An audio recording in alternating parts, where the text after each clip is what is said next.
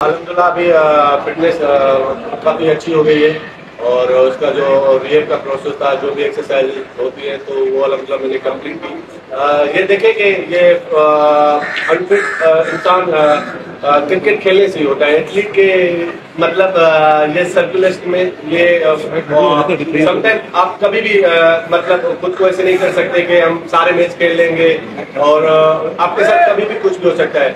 आप देखें कि पीएसएल में मेरा उंगली टूट गई थी तो उसकी वजह से फ्रैक्चर हो गया मैं टूर्नामेंट से बाहर हो गया।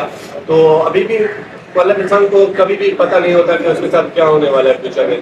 तो ये पार्ट है एथलीट के जर्नी का। तो ये फास्ट बॉलर के साथ हमेशा होता रहता है।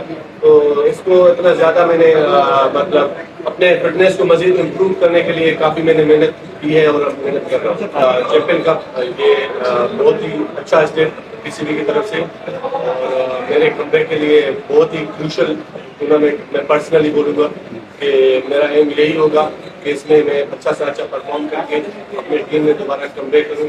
क्योंकि आप देखें चैंपियन ट्रॉफी भी साल में जा रहा है उसी तो उसके लिए एम यही होगा कि इस चैंपियन कप को अच्छे से अच्छे परफॉर्म करें और अपनी टीम को मैच जीत पाए। देखिए हमारे हाथ में परफॉर्मेंस है, अलहमदुल्ला, वो आपके सामने है, हम ग्राउंड में अपने टीम के लिए फाइट करते हैं परफॉर्म करते हैं चाहे आप हमारा पिछला सीज़न देखें, चाहे उसमें प्रेसिडेंट कप हो प्रेसिडेंट ये वनडे कप हो तो उसमें अलहमदुल्ला हमारी काफ़ी अच्छी परफॉर्मेंसेज है और हमारे हाथ में परफॉर्मेंस है। बाकी टीम की जो सिलेक्शन है वो मैनेजमेंट के ऊपर है और आप देखें कि हमारे पाकिस्तान में फास्ट बॉलर का ज़्यादा कॉम्बिनेशन है।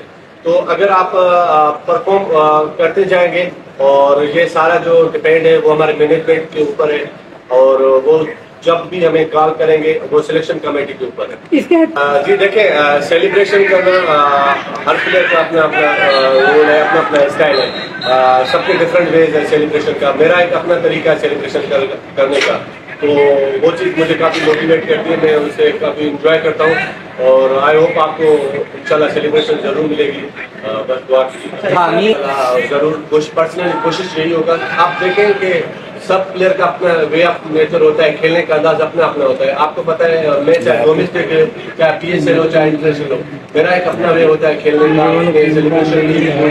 तो मैं अपने वे से कभी भी हट के नहीं खेलता गेम तो जो मेरा अपना नेचुरल गेम है और वे ऑफ़ नेचर है मेरा, मैं उसी के साथ खेलता